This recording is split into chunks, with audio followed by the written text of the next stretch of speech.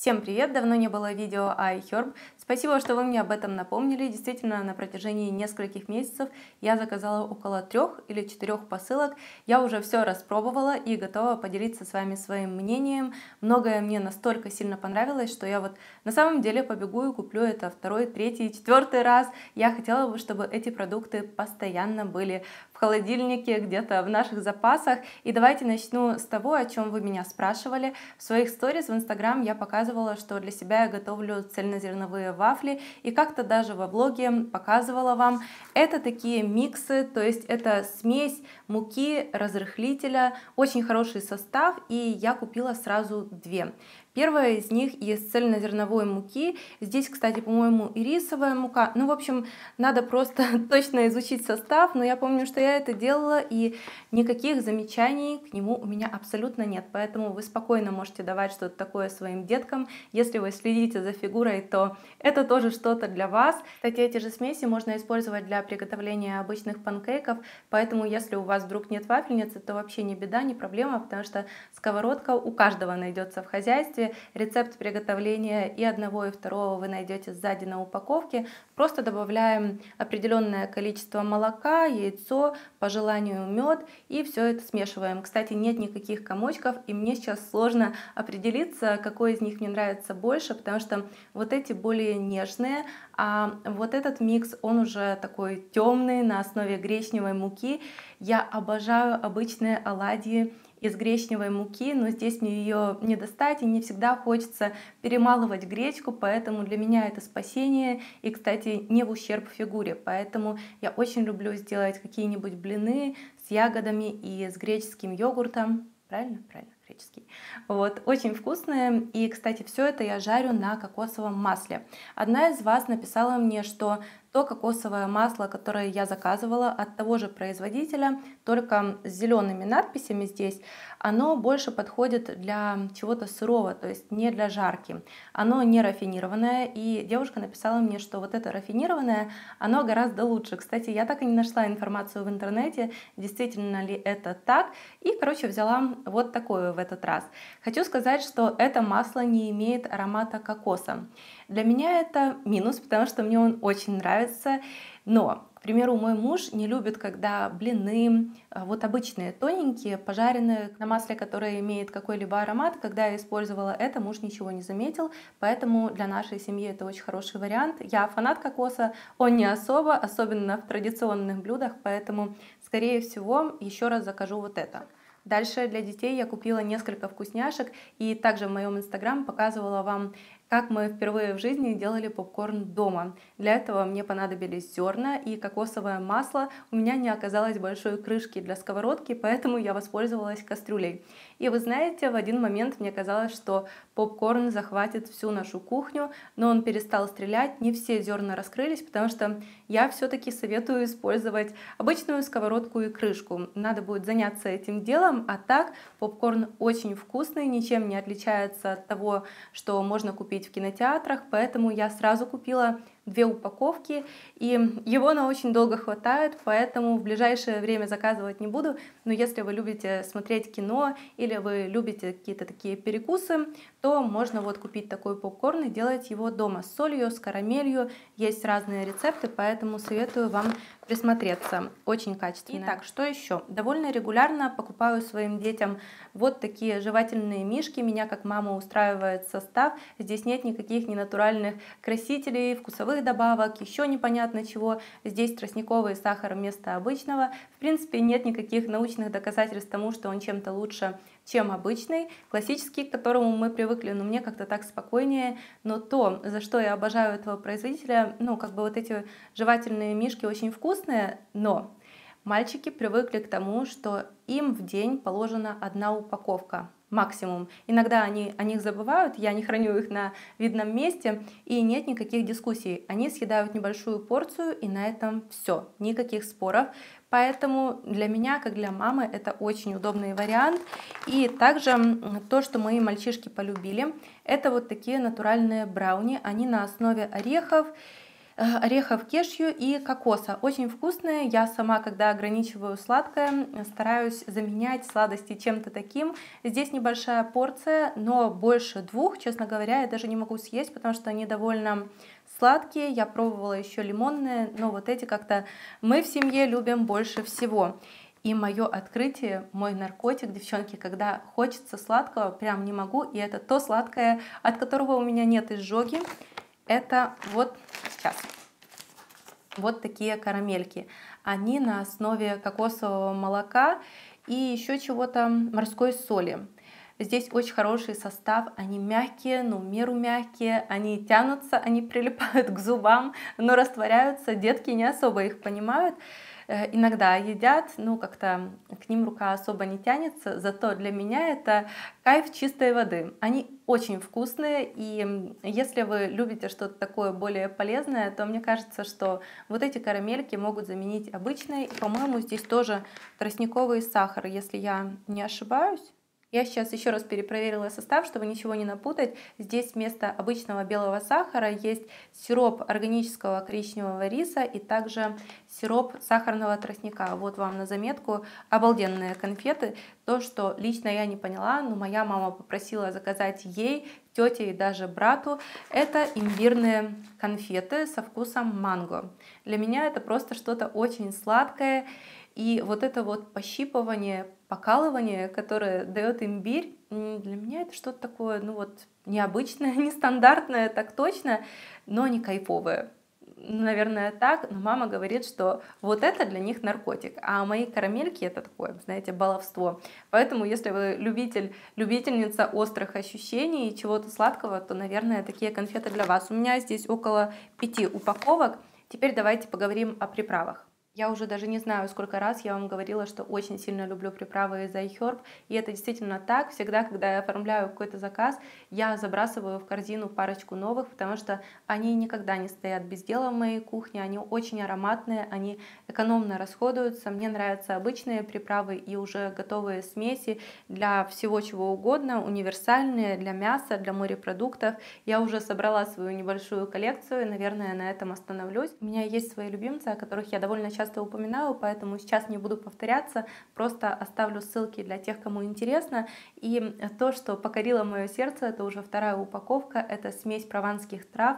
Это просто фантастика для всех свежих салатов. Скоро наступит лето, начнется сезон шашлыков, каких-то грилей, поэтому запасайтесь, вы не пожалеете.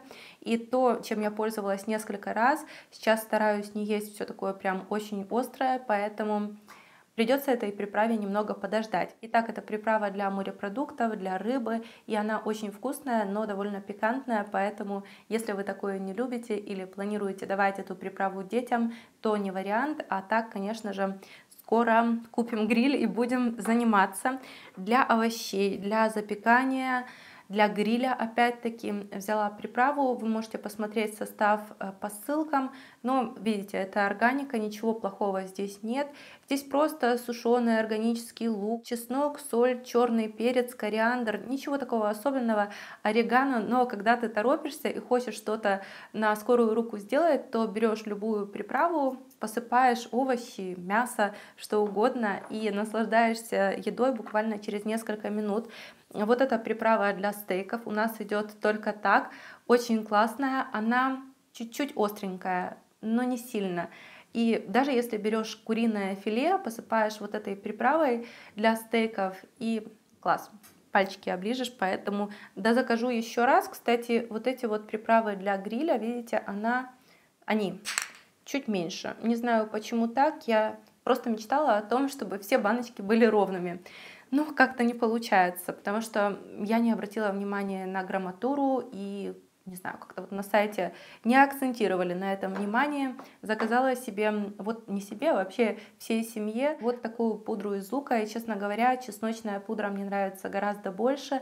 Это что-то из той же серии, но если выбирать что-то одно, то чесночная пудра все-таки лучше. Но когда я понимаю, что моему блюду не хватает интенсивности, я добавляю вот этот порошок. То есть это просто сушеный лук, он очень мелко так перемолот. Это не что-то, не какая-то вкусовая добавка, это приправа. Вот, поэтому если вы хотите что-то такое в коллекцию, то можете заказать, но чесночной было бы достаточно. Это баловство, тимьян для мяса, в салаты, для картошки. И я уже даже не знаю, сколько тимьяна я израсходовала за всю свою жизнь. Майоран и тимьян — это основные приправы наряду с орегано, с базиликом. В общем, такая она в меру интенсивная, но при этом создающая разницу э, в еде. Что-то еще, что тоже очень понравилось, это приправа для фарша. Когда я уже не знаю, какие котлеты сделать, хочется чего-то необычного, но все равно, знаете, это не такие приправы, как карри, которые убивают вкус всего на свете. Нет, она довольно такая нежная, но при этом ощутимая. Нравится. И последнее — это универсальная приправа. У меня есть что-то похожее от этого же производителя, но там другой состав, и она с солью. Сейчас я хотела заказать что-то без соли, вот, и она мне очень нравится. Здесь сушеный лук, э, чеснок, как обычно, черный перец, и помидор, и сельдерей, кумин, тимьян, орегано, розмарин. Ну и так как я сказала, без соли. Посыпать картофель, что угодно, но мне кажется, что без вот этой можно обойтись. Давайте немножко отдохнем от всего съедобного и покажу вам несколько косметических обновок, на которые я потратилась и ничуть не жалею. Первое — это масло для тела. У него очень интересная консистенция, такая как будто взбитая. Оно очень легкое, имеет приятный аромат, не слишком интенсивный, химический, навязчивый свежий, скорее немножко цветочный, но этот запах не перебивает все остальное, что находится вместе с вами в помещении. Иногда вот используешь Shop и не можешь вынести вот эту яркую отдушку. Летом это особенно ощущается. С этим средством ничего подобного нет. Мне нравится, что здесь натуральный состав, быстро впитывается, нет никакой жирной пленки. Если у вас не супер сухая кожа, вам понравится и даже летом можно без проблем пользоваться. Еще на iHerb заказала себе Спонжи, я не уверена, что это люфа, на упаковке ничего не написано. Они продаются в дуэте, то есть по две штучки. Я знаю, что некоторые умываются этими спонжами. Когда намочишь их в воде, они становятся такими мягкими. Но я купила эту штуку для того, чтобы смывать разные маски, особенно застывающие, глиняные. И я уже не представляю, как обходиться без вот таких спонжей, потому что это настолько удобно и размер, видите, большой. То есть прикладываешь маска немного намокает и снимаешь с одной трети лица сразу. Средство, э, которое заинтересовало многих из вас, и оно сначала как-то меня шокировало, но, блин, это очень классно. Это скраб для кожи головы. Если, к примеру, вы понимаете, что у вас пересыхает кожа, что она недостаточно очищается, обновляется, если вы хотите отрастить волосы, то не забывайте, что кожу головы надо скрабировать. Принципе, скраб можно сделать самой, но я решила купить. И это очень интересное средство, которое имеет такую консистенцию обычного скраба. И я сразу взяла довольно много, нанесла на волосы и чуть не обалдела. Оно настолько пенится. У меня прям такой объем был на голове. Я не знаю, ни один парикмахер чего-то такого не добьется. Очень приятно пахнет. И э, волосы становятся такими жесткими. Вот прям я думала, что я не расчешусь, ей-богу. И потом мне казалось, что волосы будут такими пересохшими, потому что здесь соль в составе, и, кстати, пахнет все это дело чем-то ванильно-кокосовым. О, так написано. Действительно, правда. И насколько же я была шокирована, когда я смыла этот скраб, э, смыла эту всю пену, никаких гранул, ничего такого не остается, и волосы были мягкими. Как так? Непонятно. И они стали такими живыми, такими объемными, не такими, как во время мытья, но тем не менее я заметила, что кожа головы посвежела. Поэтому, кто интересовался, девчонки, можете купить. Средства хватает на очень долго. Я сразу как бабахнула на голову. Вовсе не надо этого делать. Минимальное количество. Это был мой тоник, но, к счастью, он не разбился. От целлюлита я использовала две вещи. Сейчас докупила еще и такой вакуумный массажер, но если, к примеру, у вас расширенные вены, варикоз, вы боитесь использовать, вы не знаете, как пользоваться вакуумным массажером, это такая силиконовая баночка, то просто купите себе щетку. от The Body Shop мне нравится больше, потому что она какая-то такая, ну, поприятнее будет, тоже жесткая, но все равно натуральная щетина, ну, как-то приятнее мне ею пользоваться, хотя это довольно э, жесткий массаж. Э, короче, я выполняю сухой массаж, то есть э, после занятий спортом зачастую я захожу в ванную комнату и начинаю выполнять массаж от, к примеру, рук или ног по направлению к сердцу. И вот просто массирую такой щеткой свое тело. Мне очень нравится именно такой формат, то есть когда можно удобно взять щетку без ручки, это EcoTools, и в принципе я не буду покупать себе от The Body Shop, потому что этой пользуюсь, я вижу результат.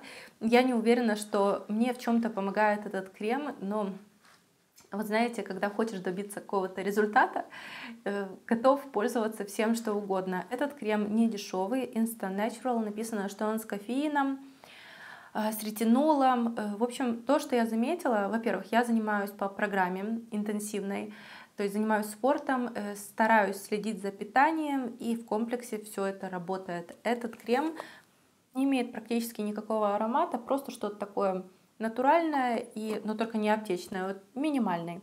И вы знаете, он очень быстро впитывается, не могу сказать, что он как-то классно увлажняет, но кожа становится упругой. Я этот крем наношу, наносила практически уже, потому что он подходит к концу и на живот, также на грудь, для того, чтобы подтянуть кожу.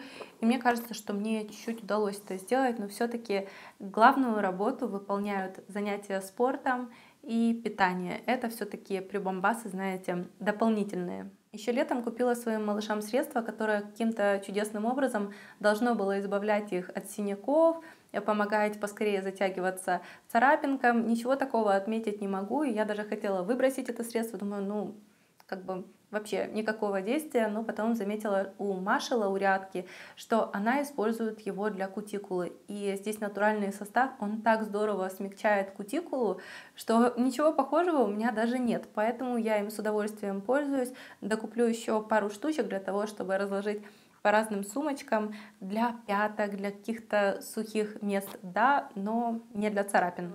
Также купила несколько уходовых средств, которыми пока что не пользовалась, но если вам интересно, то вот они. Это сыворотка от Мизон, интенсивная восстанавливающая ампула с муцином улитки. Моя подружка говорит, что это что-то запредельное, что ничего похожего она не пробовала, поэтому я решила, тоже надо купить. Сыворотку с витамином С от компании Serum Diabetes. Моя мама тоже или Дипити. Моя мама тоже пользуется этим уходом, у нее настолько посвежела кожа. У меня тоже была ретиноловая сыворотка, но сейчас не буду как-то акцентировать на ней внимание, потому что начинается активное солнце. И под глаза взяла себе сыворотку, сыворотку от Insta Natural. Я все-таки бьюти-блогер, я должна пользоваться разными средствами для того, чтобы не только говорить о Estee Lauder, которая стоит там около 80 долларов, поэтому если подойдет и понравится, вы обязательно узнаете об этом. И также хотела бы сказать вам о средстве, которое я не куплю снова, которое мне абсолютно не подошло. И вы знаете, сейчас в мире YouTube очень популярно выражение, что купила по совету непроплаченного блогера. Дело не в том, что кто-то участвует в рекламных кампаниях, кто-то нет, просто все мы разные, и даже средства с натуральным, очень хорошим составом могут кому-то не подойти. Я тому яркие примеры, вы можете посмотреть мои влоги, где я без макияжа, и, честно говоря, я сама себя даже там не узнаю, потому что я не помню, когда у меня так сильно опухали веки. Это бестселлер. Моя мама пока что еще не вскрывала упаковку, я покупала для себя и для нее. Если маме подойдет, отдам. Это очень классный питательный крем, который по консистенции похож на мазь, но черт, он вызывает у меня аллергию, притом такую, что утром у меня снизу все опухает и сверху. Я наносила маленькое количество и большое, и по-разному. И я поняла, я перестала пользоваться этим кремом. Я заметила, что у меня кожа настолько стянулась, она начала просто, вот знаете, себя так вести, как после ожога облезла, вот прямо облезла. Так что, видите, ничего универсального в этом мире нет. К сожалению, мне это средство не подошло, и многие спрашивали, поэтому еще раз делюсь отзывом. И последнее на сегодня это чаи от компании Harney Sons. У меня есть свои любимчики, о них напишу в инфобоксе. Их я заказываю вновь и вновь. Точно так же, как кокосовые такие типа баунти, более диетические. Клюква у меня здесь стоит. кешью, э, кетчуп. Я уже просто оптом все это заказываю, потому что и знакомые просят, подружки, ну как оптом, по 4, по 5 штук. это и так немало. В этот раз, в общем, взяла попробовать новые вкусы. Это шоколад с мятой, очень классно, это черный чай. Они настолько насыщенные, что я иногда даже по два раза завариваю один и тот же пакетик. Они, кстати, настолько красиво выглядят, но есть одна проблема, о которой я сейчас скажу. Вот, посмотрите, как это красиво все выглядит. Э, то есть это такой мешочек как элитный чай, хотя элитный чай, наверное, рассыпной. Ну, короче, не стыдно что-то такое подарить, если бы не один момент. К примеру, вот этот пришел мне очень помятый какой-то, ну как не очень, но все равно неприятно, да, на подарок не годится. И этот тоже. Не поняла, вот этот черный чай эм, со смородиной, по-моему, раньше в Украине тоже что-то со смородиной покупала, и это было действительно хотя бы что-то, что-то, что напоминает смородину. Вот этот просто черный чай с каким-то ароматом. Ну нет, наверное. И ванильный черный чай без кофеина. Это тот чай, который я очень люблю пить с медом, с молоком вечером. Я спокойно сплю после него. Так что на заметку тем, кто кормит грудью или, э, к примеру, хочет пить какой-то чай вечером. И также напишу вам в инфобоксе, какие чаи я еще люблю, кроме Harney Sons, потому что в следующий раз закажу что-то и от них. Это все на сегодня. Еще раз оставлю ссылки на то, что я люблю. Заказываю повторно кешью, э, кедровые орешки, кокосовую стружку, кокосовые хлопья. Возможно, вы впервые захотите сделать заказ, не знаете, что выбрать. В общем, такой небольшой гид вы, как всегда, найдете в инфобоксе. На этом у меня все. Надеюсь, что вам было интересно. Видео получилось долгим, но мне захотелось так подробно поделиться с вами всем своими впечатлениями, рассказать о любимцах. Все, целую, обнимаю.